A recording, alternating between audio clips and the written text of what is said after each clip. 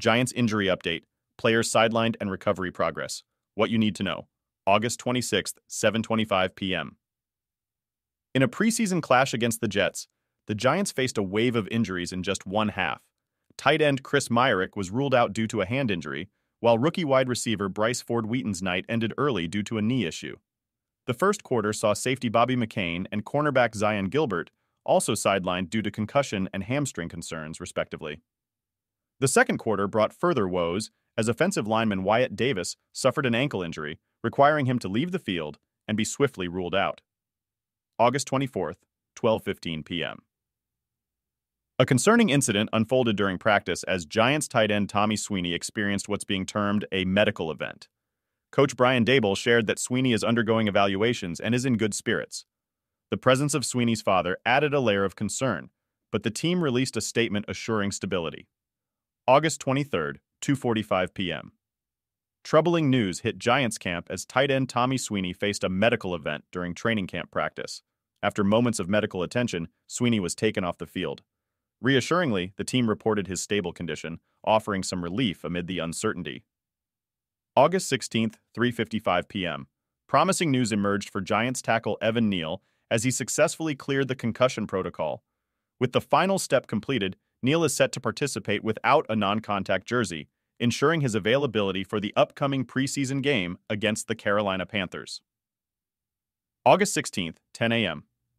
Optimism surrounds Evan Neal as he progresses in the concussion protocol, signaling a positive direction for his return. Wide receiver Cole Beasley's absence due to a leg injury is noted, while Wan'Dale Robinson's recovery progress is underway. Defensive lineman Ryder Anderson's triceps injury rules him out for the next game. August 14th, 9:51 a.m. Giants coach Brian Daboll provided a slew of injury updates, shedding light on the team's status. Evan Neal's presence in the concussion protocol is highlighted, alongside the activation of defensive tackle DJ Davidson from the PUP list. Wide receiver Collin Johnson's non-serious knee injury and cornerback Cordale Flott's return to practice are also detailed. August 7th, 10:25 a.m. Recovery milestones were celebrated as defensive tackle A'Shawn Robinson and guard Marcus McKethan passed their physicals and were taken off the PUP list. Evan Neal remains in the concussion protocol, but accompanies the team for joint practices with the Lions. August 5th, 4:50 p.m. Coach Brian Daboll shared insights on various players' statuses.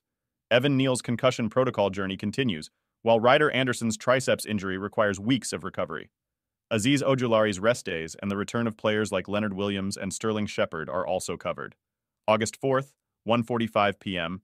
Tackle Evan Neal's unfortunate concussion is confirmed, placing him in the protocol. Neal's history of injuries is discussed, highlighting his prior MCL injury. August 1st, 10:30 a.m. center. J.C. Hassenauer's tricep injury leads to his placement on injured reserve.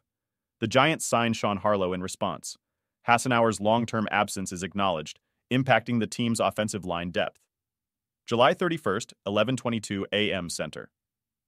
J.C. Hassenauer faces a triceps injury requiring surgery and prolonged absence.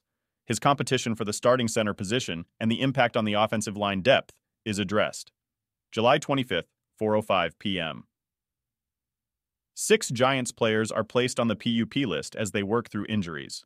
Wide receivers, Sterling Shepard and Wan'Dale Robinson's recovery progress is highlighted, along with the situation of DT A'Shawn Robinson. Additional players sidelined and wide receiver Jamison Crowder's calf injury are outlined.